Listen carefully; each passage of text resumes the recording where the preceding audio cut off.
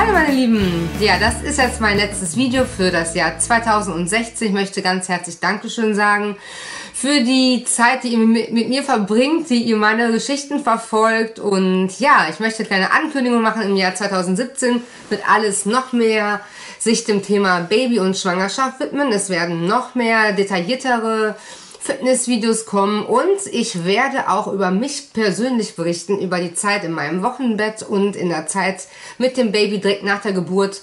Weil bei mir war das nämlich nicht so einfach, deswegen habe ich darüber irgendwie gar nicht so viel berichtet. Ihr habt meine Schwangerschaft komplett verfolgen können.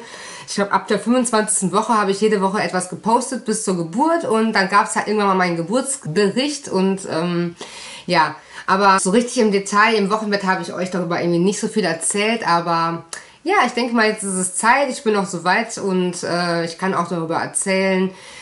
Ja, ich freue mich auf ein neuen, neues, spannendes Jahr mit euch. Ich freue mich darüber, dass ihr mich weiter ja, verfolgt und ähm, dabei seid bei all meinen Geschichten. Und dann kann ich nur sagen, wo immer ihr auch gerade seid. Passt immer schön auf euch auf und dann sehen wir uns im nächsten Jahr ganz gesund, frisch und knackig wieder.